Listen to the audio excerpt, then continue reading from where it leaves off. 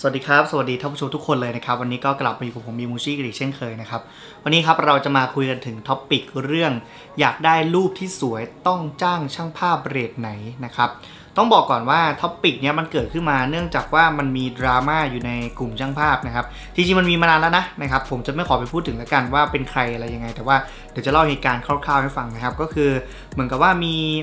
ลูกค้านะครับท่านหนึ่งเนี่ยต้องการที่จะจ้างช่างภาพไปถ่ายงานแต่งนะครับแล้วบ้านของลูกค้าเนี่ยก็พูดตรงๆว่ามันก็เป็นบ้านที่อยู่ชนบทอะไรเงี้ยเนาะแล้วก็ลักษณะบ้านก็เป็นบ้านไม้นะครับแล้วก็ เอาตรงว่าพูดพูดตรงเลยก็คือว่าสภาพบ้านหรืออะไรเงี้ยนะครับ มันไม่ได้เอื้อต่อการถ่ายภาพที่แบบที่ดีขนาดนั้นนะอันนี้พูดตรงนะครับ เรื่องของฉากหลังเรื่องของ backdrop อะไรต่างๆนานาเรื่องของพื้นที่อะไรเงี้ยนะครับ ก็เอาตรงว่ามันค่อนข้างที่จะเป็นงานหินสำหรับช่างภาพนะครับ ซึ่งช่างภาพคนนั้นเนี่ยก็ทำงานได้อย่างเต็มที่นะครับ รูปที่ออกมาเนี่ยเอาจริงจากมาตรฐานของผมนะ เพราะว่าแต่ละ คนเนี่ยก็มาตรฐานไม่เท่ากันนะครับ อย่างของผมเนี่ยผมรู้สึกว่าเฮ้ยทำได้ขนาดนั้นก็ถือว่าโอเคแล้วนะครับ ส่วนตัวผมนะนะครับ ก็ทีนี้พอถ่ายรูปถ่ายอะไรเงี้ยเสร็จเรียบร้อยนะครับช่างภาพส่งงานปั๊บเนี่ยลูกค้าคนนี้ก็เอามาโพสต์อยู่ในหน้าหน้าเฟซตัวเองนะครับ แต่ว่าก็มีการแชร์กันต่อมาเรื่อยๆว่า เออเนี่ยช่างภาพคนนี้ใครจะจ้างก็คิดดีๆอะไรเงี้ยแบบถ่ายรูปมาแบบไม่สวยเลย reference อยากได้แบบ รูปที่เขาเอามาเป็น reference อะก็คือเป็นรูปที่ถ่ายในโรงแรมอะไรเงี้ยครับที่สถานที่แบบราคาเช่าแพงๆเลยนะนะครับอยากได้ feel นั้นแล้วก็ feel แบบบ้านที่เขาแบบส่งมาเนี่ยอันนั้นก็เป็นบ้านไม้เรือนไทยที่เขาทำขึ้นมาเพื่อที่จะรองรับงานแต่งอย่างเช่น พวกเขาใหญ่อะไรเงี้ยซึ่งพื้นที่การจัดไฟหรือว่า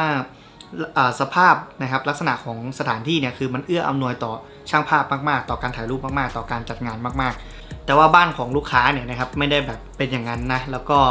เหมือนกับลูกค้าเขาก็คงแบบคิดว่า เออ จ้างช่างภาพมาเนี่ยมันแบบต้องช่างภาพแพงเท่านั้นแหละคะ ถึงจะแบบว่าได้ภาพที่สวยได้ภาพที่ดีอะไรประมาณนี้นะครับ อันนี้ก็คือแบบว่าใจความแบบหลักๆนะครับ ที่เขาจะสื่อเนี่ย วันนี้ผมก็เลยจะมาเล่าให้กับ ทุกท่านฟังนะครับ คือคลิปนี้ตั้งใจจะเล่าให้กับท่านผู้ชมที่อาจจะยัง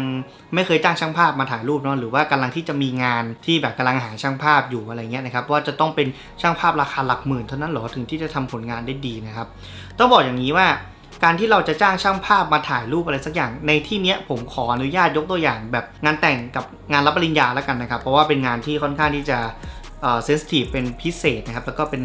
งานที่ผมแบบอยากจะพูดถึงมากที่สุดด้วยนะครับ เอาอย่างงานรับปริญญาแล้วกันง่าย ๆ นะครับ การที่เราจะมีรูปที่สวยได้เนี่ยมันไม่ได้จบแค่ช่างภาพที่ดีนะครับ ผมพูดอย่างนี้ว่าต่อให้คุณช่างช่างภาพหลักหมื่นนะครับ แต่ว่าคุณไม่ได้มีการเตรียมตัวหรือว่ามีความพร้อมอะไรให้กับช่างภาพเลยเนี่ยนะครับ รูปที่ออกมาเนี่ยนะครับ มันก็อาจจะ ช่างภาพคนนั้นอาจจะประดิษฐ์ขึ้นมาให้มันสวยได้ แต่ว่ามันก็จะค่อนข้างที่จะเหนื่อยในการทำงานของช่างภาพนะครับ ยกตัวอย่างง่าย ๆ เลยว่าจริง ๆ คุณผู้หญิงก็น่าจะรู้อยู่แล้วนะครับ ก็คือการ makeup นะครับ makeup ต่างๆ บนใบหน้าของเราเนี่ยไม่ว่าจะเป็นการทาลิปสติก การกรีดอายไลเนอร์หรือว่าการทำผมต่างๆ นานาเนี่ยนะครับ ต่อให้ช่างภาพคนนั้นเนี่ยจะใช้กล้องแพงแค่ไหนนะครับ หรือว่าจะเป็นคนที่มีฝีมือมากขนาดไหนเนี่ยนะครับผมบอกเลยว่าการถ่ายรูปเนี่ยออกมาเนี่ยมันก็ ค่อนข้างที่จะลำบากนะครับ แล้วก็ผมจะไม่ใช้คำว่าไม่สวยแล้วกันนะ เพราะว่า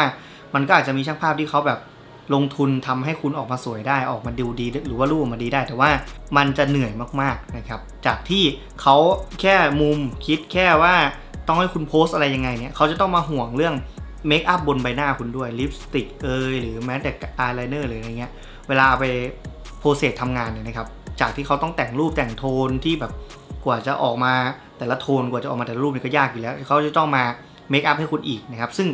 ช่างภาพส่วนมากก็ไม่ได้ makeup ให้ในงานที่แบบเป็นงานรับปริญญาแบบเต็มวันครึ่งวันนะครับส่วนมากจะเป็นงานถ่ายในสตูหรือว่าพรีเวดดิ้ง10 รูป 5 รูปอะไรเงี้ยซะส่วนมากนะครับถ้าเป็น 400 รูป 300 รูปอย่างเงี้ยส่วนมากเขาก็จะไม่ได้ทำกันนะฮะนั่นแหละนะครับช่างภาพเนี่ยมันเหมือนกับปลายน้ำอะนะครับคือคุณจะมีน้ำสะอาดที่กินเนี่ยมันจะต้องดีมาตั้งแต่ต้นน้ำนะครับต้นน้ำคืออะไรนะครับ ต้นน้ำก็คือ ช่างเมคอัพนะครับช่างแต่งหน้า ช่างทำผม หรือถ้าเกิดคุณทำเองเนี่ยก็คือตัวเราเองนะครับอ่าทำผมแต่งหน้านะครับเรื่องชงเรื่องชุดนะครับ เรื่องความพร้อมอ่าว่าแบบเรื่องหวีเรื่องอะไรเงี้ยการสเปรย์ผมอะไรเงี้ยนะครับคือถ้าเกิดว่าต้นทางมันมาดีเนี่ยนะครับปลายทางที่เป็นช่างภาพหรือว่าคนถ่ายรูปหรือว่าคนทำมีเดียมันก็จะออกมาดี คือถ้าเกิดว่าต้นทางคุณออกมาดีอะอย่างขี้เลี้ยวขี้เละสุดอะต่อให้แบบ อะสมมติสมมติว่าต่อให้ช่างภาพคนนั้นแบบไม่ได้ทำโทนไม่ได้อะไรเลยทำแค่ไพรเมลี่ปรับขาวปรับสว่างเฉยๆเนี่ยรูปมันก็ยังออกมาดีนะครับเข้าใจไหมว่าคือถ้าเกิดมันดีมาตั้งแต่ต้นน้ำเนี่ยนะครับโอกาสที่คุณจะมีรูปที่สวย โอกาสที่หน้าคุณเวลามันไปอยู่ในภาพเนี่ยมันจะออกมาดีเนี่ยมันมีโอกาสที่มากกว่านะครับดังนั้นเนี่ยผมอยากจะบอกกับทุกท่านอย่างนี้ว่าไม่ว่าท่านที่เป็นเจ้าสาวอยู่กำลังจะแต่งงานแล้วจ้างช่างภาพแล้วกังวลเนี่ยนะครับคือไม่ต้องกังวลนะครับ ให้คุณทำตัวสบายๆนะครับแล้วก็ใช้ชีวิตแบบปกติทั่วไปนั่นแหละนะครับ แล้วก็เวลาวันงานอะไรเงี้ยนะฮะก็เวลาเขาแต่งเมคเอาเมคอัพอะไรเสร็จแล้วเนี่ยก็ดูกระจก ดูว่า ลุคเนี้ยเราพอใจแล้วหรือยังนะครับ ถ้าเกิดไม่พอใจเราต้องรีบบอกช่างแต่งหน้าช่างทำผมนะครับว่าเฮ้ยตรงนี้อยากแก้ตรงนั้นอยากแก้ตรงนี้รู้สึกไม่ดีหรืออะไรยังไง คือเราเราเป็นตัวเอกในงานของเราอยู่แล้วนะครับ เราเป็นเจ้าของงานอยู่แล้วนะครับ เราสามารถบอกเขาแก้ไขได้ ถ้าเกิดไม่พอใจนะครับว่าแบบเอ้ยตรงนี้ตรงนี้จะแก้แก้แก้ต้องบอกตั้งแต่ตรงนั้นนะครับ ไม่ใช่ว่าปล่อยปะละเลยแล้ว พอช่างภาพมาเก็บรูปมาถ่ายรูป แล้วก็จะมาโวยช่างภาพว่า พี่คะตรงนี้ทำไมมันเป็นอย่างนี้ตรงนี้มันด่างพี่ตรงนี้หน้ามันขาวกว่าคอหรืออะไรเงี้ยคือถ้าเกิดว่ามันเมคอัพมามาดีนะครับช่างภาพเขาก็จะทำงานง่าย เขาจะได้ไม่ต้องเอาเวลาที่แบบมาห่วงเรื่องของไอ้ตรงเนี้ยตรงเนี้ยเรื่องน้อยของคุณเนี่ยเขาจะได้เอาไปห่วงว่าพิธีมุมภาพอ่าการเก็บภาพอ่าเรื่องของแคนดิดกล้องหลักญาติเอ่ยมิตรสหายอะไรเงี้ยเขาจะได้ไปห่วงเรื่องนั้น อันนี้ก็จะเป็นความคิดเห็นของผมนะสรุปแล้วเนี่ยสิ่งที่อยากจะบอกกับทุก ๆทท่านนะครับที่กำลังอยากจะ จ้างช่างภาพนะครับมาถ่ายรูป หรือว่ากำลังจะมีงานมงคลอะไรเงี้ยนะครับแล้วอยากจะได้ช่างภาพเนี่ยแล้วกำลังกังวลนะว่าแบบเอ้ยต้องจ้างช่างภาพหลักหมื่นเท่านั้นอะไรเงี้ยถึงจะถ่ายรูปออกมาดีเนี่ยนะครับผมก็จะบอกนี้ว่ามันก็ไม่เสมอไปนะครับช่างภาพ 3,000 อย่างผมเนี้ยรับงานแต่ง 4 5 0 0 0 6,000 ไม่รวมค่าเดินทางเนี้ยนะครับผมก็ ไม่รู้อะผมจะไม่บอกผมทำงานออกมาดีนะแต่ว่าผมก็รู้สึกว่าผมทำงานมาเนี่ยก็ไม่เคยมีลูกค้ามาตำหนิหรือมาอะไรนะครับ เพราะว่าเราก็เต็มที่แล้วก็ตรงไหนที่ที่มันเป็นดีเฟกต์ที่มันเป็นจุดด่างพร้อยอย่างเงี้ยเราก็จะแจ้งลูกค้าก่อนนะครับว่าเฮ้ยตรงนี้มันสามารถเติมได้ไหมตรงนี้อย่างนี้ได้ไหมลิฟต์จางไปหรือเปล่าหรืออะไรเงี้ยเวลาถ่ายออกมา เราจะให้คำแนะนำลูกค้าเราไม่ใช่แค่ว่าถ่ายอย่างเดียวนะครับ ผมเนี่ยดูแลดุดญาติมิตรเลยนะฮะแต่คิดเงินนะครับก็แบบไปไหนเจออะไรหอบนะครับ แบบชุดเจ้าสาวผมทำให้หมดเลยนะครับผมก็มันก็ไม่เสมอไป แน่นอนแหละว่าช่างภาพราคาแพงเนี่ยนะครับผลงงผลงานอะไรเงี้ยก็ก็อาจจะมีขั้นตอน process ที่มากกว่าช่างภาพราคาที่ลดหลั่นลงมาตามศักยภาพตามอุปกรณ์ที่ใช้นะครับ ตาม service ที่เขาได้มอบให้กับคุณนะครับ แต่ไม่ได้บอกนะว่าช่างภาพราคาหลักพันเนี่ยจะทำงานได้ด้อยกว่าราคาหลักหมื่นไม่เกี่ยวนะครับ แล้วแต่ตัวบุคคลนะครับ อ่าดังนั้นนะฮะก็ถ้าเกิดว่า